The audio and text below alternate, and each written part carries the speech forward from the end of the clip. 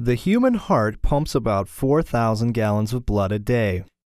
Deoxygenated blood from the body enters the heart through the superior and inferior vena cava and drains into the right atrium. It then flows past the tricuspid valve into the right ventricle. Blood is then pumped past the pulmonary semilunar valve into the pulmonary trunk and the pulmonary arteries, which deliver blood to the lungs for gas exchange. These are the only arteries in the body that carry deoxygenated blood. Blood coming back from the lungs enters the heart from the only veins that carry oxygenated blood, the pulmonary veins. Blood then travels into the left atrium past the tricuspid valve, also known as the mitral valve, and into the largest chamber of the heart, the left ventricle. Blood is then pumped past the aortic semilunar valve and into the largest blood vessel in the body, the aorta, and then to the entire body. The sheep's heart we will be dissecting is similar in size and structure to the human heart. First, orient yourself to the dissected heart.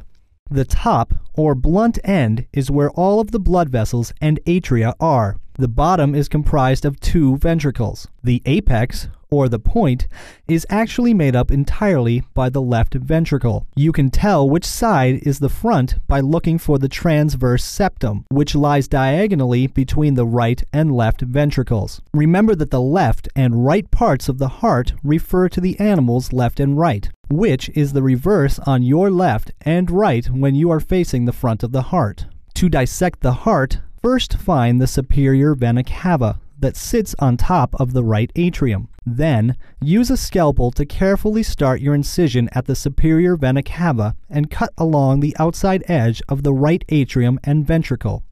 Continue across the apex and left ventricle. When you reach the top of the left ventricle, make sure you continue your incision through the left atrium. Now, you must cut through the transverse septum inside the heart to separate the two halves of the heart. Hold the heart upside down and slip your scalpel into the incision at the apex and cut the septum all the way to the top of the heart. Then, separate the two halves of the heart. Let's look at the back half of the heart to compare it to the structures we saw on the model. If you have trouble identifying a blood vessel, place a probe into the vessel to see what chamber it is connected to. This will give a hint to what structure it is. First, find the superior and inferior vena cava. The inferior vena cava is sometimes more difficult to find, and you may want to use a probe to find it right atrium, tricuspid valve, right ventricle. You may need to look at the front half of the heart to find the pulmonary semilunar valve and the pulmonary trunk and arteries. Now find the relatively small pulmonary veins on top of the left atrium.